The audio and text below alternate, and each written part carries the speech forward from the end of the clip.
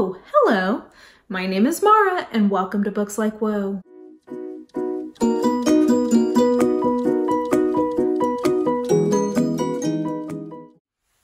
So I wanted to do a quick where to start with video today for author recommendations.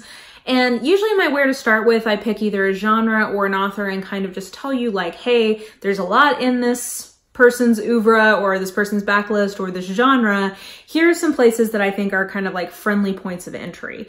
So today I wanted to do that with Nora Roberts and specifically I want to do it with Nora Roberts like suspense, thriller, mystery type books because the woman is uber prolific. And first of all, I should tell you, so she's got like three main kind of genres she writes in. She writes paranormals, she writes contemporaries, and then she writes in this sort of mystery thriller, whatever genre. I have not had great success with her paranormals to date. They're not like, they're just not quite my thing. It's not that they're bad or anything. They just aren't quite what I personally like out of a paranormal. They are delightfully referred to as paranoras. So I enjoy that, but they're just not totally 100% my cup of tea. So I wanted to just go ahead and exclude that entirely. The other thing is I'm still reading a lot of her contemporary stuff that doesn't have as much of a mystery element to it and still sort of forming my opinions. So I didn't want to include that because I think that would ultimately be its own video. I'm just going to stick with her standalone suspense and her sort of like procedural type books for this video. So I'm going to start with the book that I think is her best and is the place I would tell you to start with, and that is the Obsession by Nora Roberts. This book was not my first book I read from her, but this was the first book that I realized I loved her with. The reason is because this is a serial killer type book. Um, it's a suspense, so it's not that there's a lot of like clues and whatnot. Like you're not, this isn't the type of mystery or suspense book where you're spending a lot of it figuring out who done it. It's more of a sort of like cat and mouse type plot. But it has so many things in her writing that I think is really great, which is it has great family dynamics. It paints the picture of a community really, really well. Just uh, it's evocative in terms of uh, sort of its setting. It also has a renovation element, which is something that comes up in a lot of her books, but there's like an old house that used to be like a big inn, like kind of a gigantic either inn or country estate type thing that the main character is renovating. Um, so you get that. The heroine has like sort of an unusual profession that she's very competent in.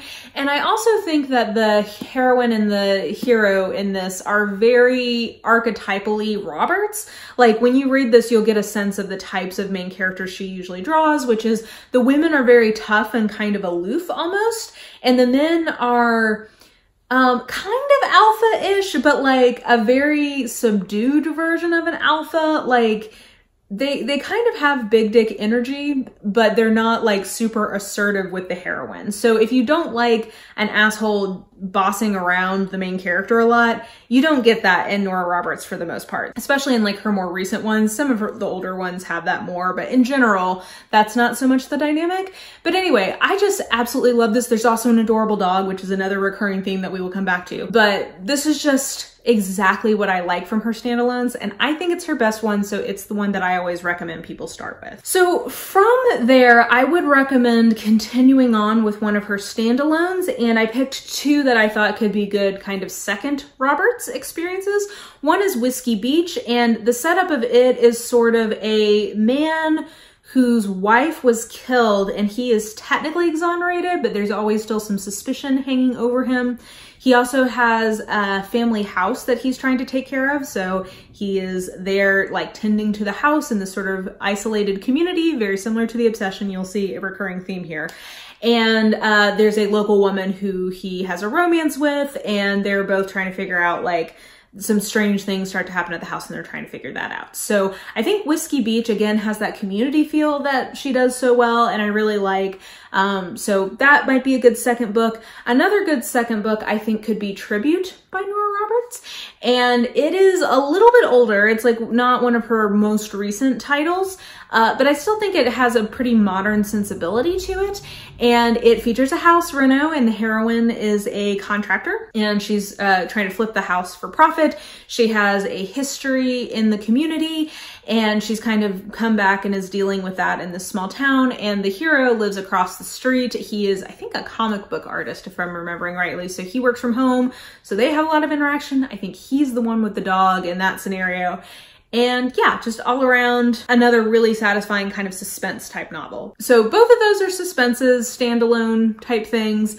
And I think either of those could be a good second book for Nora Roberts. And then my third pick would be to go ahead and get you to start and see if you like a Nora Roberts procedural.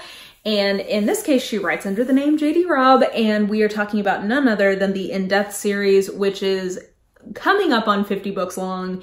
It is her take on a police procedural. It is near future, uh, not dystopia or utopia, just, just near future, um, set in New York. And our recurring characters are Eve Dallas and her dude, Roarke. And, uh, they meet each other in the first book and get together pretty, pretty darn quickly after that. So you see them throughout the series. This book is good and it definitely made me keep reading. Obviously, I'm like on book 27, I think now. It is one of those series though that I think gets better as it goes and really hits its stride after about four, five, six books in and really like gets there and stays there. It has excellent character development. The quality of the mysteries vary from book to book. Some of them are better than others. It's never terrible and sometimes it's great. It just depends. But I think what really stands out in this particular procedural series is the character work. And so I, this is one that I personally really enjoy. I'm trying to make my way all the way through it.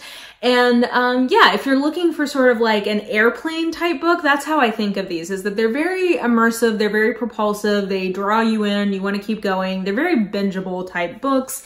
She writes them really well. So if you like that kind of like crime of the week type series, I think that the In Death one is definitely worth giving a shot. And then uh, moving back into the standalone category, I think any of these next three could be your fourth pick, and that would be The Search, The Witness, and Blue Smoke. So The Search, the standout feature of The Search is that the main character runs uh, a dog training school and she specializes in training dogs for search and rescue. It's really good. I think that the male lead in this one is one of her worst, which is what keeps it from being higher up in this list for me. Like, you should get to know her a little bit before you get to this one, I think, just because he's so blah and you spend a lot of time in his perspective, so whatever. But I think that the charms of the female main lead overwhelms that. It has the great small town feel, and there's a lot of adorable dogs in it, which is great. Uh, and the mystery is one where she survived a serial killer and now maybe the serial killer has come back kind of a thing. So there's the search. The witness is about uh, a young woman who witnessed something, hence the witness, and she's basically been kind of like on the run and she is a genius and she's a like computer hacker and she ends up in a small town with you guess it, an adorable dog. Uh, and the local sheriff gets curious about her and things from her past start to come back up. It is also really, really good. I like it a lot. I don't, I don't, there's something a little off about the character dynamics in that one, which is why it's not my personal favorite. But actually I've heard a lot of people say that The Witness is their favorite Nora Roberts like standalone kind of, kind of thing. And then Blue Smoke I picked because I think it's really interesting in terms of it being an arson, uh, like the main main female lead is an arson investigator and there's a lot about that in the book. It also starts with her as a kid and, and kind of moves with her to the present day. That, by the way, is true also in The Obsession and The Witness. And I do think that when that is part of what's happening in the book, it works really well. She does a very good job of kind of doing coming of age um, type stories in terms of like incorporating that into her suspense or thrillers. So any of those three I think would be a good fourth pick. And then finally, I think the fifth pick I have is Shelter in Place, which was her standalone suspense that she came out with last year. And the reason I picked this um, is because I think it plays on a lot of her strengths. And I also think it's indicative of sort of where her standalone suspense slash thriller books are going in that it is much, much, much less focused on a romance and much more just a thriller or suspense. And she's increasingly been doing that in the last few books. I think that that will continue. I think she's just sort of run out of steam, honestly, on a lot of the romance piece, which I think is fine. If she's not interested in it anymore, I think she shouldn't worry about it. Uh, Blue Smoke, by the way, also has pretty minimal romance in it, all things considered. But uh, Shelter in Place is about um, two people who survived a mass shooting. It was like the largest mass shooting in US history uh, at a mall. It starts with them as teenagers and then follows them up into the present day. And it is about uh, them kind of dealing with the mass shooting and like how that impacted their life and, and following kind of their development and journey. And it's also following uh, the family members of these shooters. And you start to realize that maybe not everybody who's involved in the shooting died that day. Dun dun dun, what's gonna happen? So that that's sort of the conflict. Again, I just think that if you're looking to kind of understand where her books are going, this would be a good one to give a shot because if you like it, you have more books like it, I think, coming in the future. We'll see how this year's goes. It comes out in July and it's called Under Currents, so I'm excited to read it. Uh, so we'll we'll see, but this is kind of where I think her work is headed. So I think it would be a good way to kind of round out your first five Roberts experiences. So yeah, that is my little recommendation on where you should start with Nora Roberts. Uh, her oeuvre is gigantic and I feel like everybody has a different favorite. Like Nora Roberts, I think, is a commercial fiction writer who I have a ton of admiration for because she's sort of like Stephen King in the sense of she is just like a workhorse. She is one of those people who just gets up and writes every day kind of a thing. So she produces a lot of material and she has a certain clarity in her prose and sort of just like solidness in her characters and plots that is really admirable. And it's an undercounted skill in sort of the literary firmament. Like, I don't think that you get a lot of credit for being as good of a sort of just technician as she is, but she really is. Like, she's a very dependable author who writes really pleasing novels that are very entertaining and moving. You know what I mean? Like she's somebody who can handle a pretty sad or moving scene with a lot of grace. I think she can tackle pretty heavy subject matter in her books with a certain amount of finesse for a commercial fiction writer. Like I'm not saying she's going as deep as, you know, whoever on it, but I think that she has a certain level of insight into the thematic content of her commercial fiction, which in my opinion makes it a cut above the rest.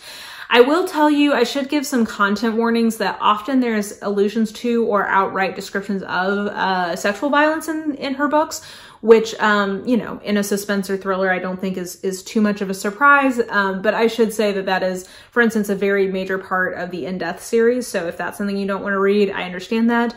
That being said, I do think that she handles that with a lot of like empathy, compassion, and grace. So even if it is um, graphic. It is never fetishizing and it's never glorifying. Uh, I think a really strong undercurrent uh, thematically in all of her kind of suspense, mystery, whatever books is basically that uh, it is that justice is about making peace uh, for the dead on behalf of the dead for the living. And there's a very intense theme of like justice and why it's important and why it's a huge part of like how we can have a civilized world. So, um, all that to say, I love Nora Roberts. I really, she's somebody who I've discovered in the last few years, and I think I'd kind of written off uh, for some of the reasons, honestly, I was alluding to earlier in terms of, you know, not always giving commercial fiction authors enough credit for what they do and if they can do it well. She is 100% a commercial fiction author who understands what she's doing, understands her craft, is a master and is definitely worth giving a try if you are at all interested in her. So with all that being said, if you are already a Nora Roberts reader, feel free to leave your favorite book of hers below, or maybe a book that you would recommend people start with her with, uh, sort of in the suspense thriller mystery category. And uh, yeah, I hope you guys enjoyed this video. If you did, please like, subscribe, follow me on the social medias if you are so inclined. I have all that information listed in the description box below. I think that that will do it. I hope you're having a super lovely day and I will just talk to you soon. Bye.